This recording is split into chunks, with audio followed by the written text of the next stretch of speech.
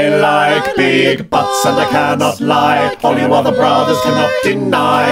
When a lady walks in with an itty bitty waist and a round thing in your face, you get sprung.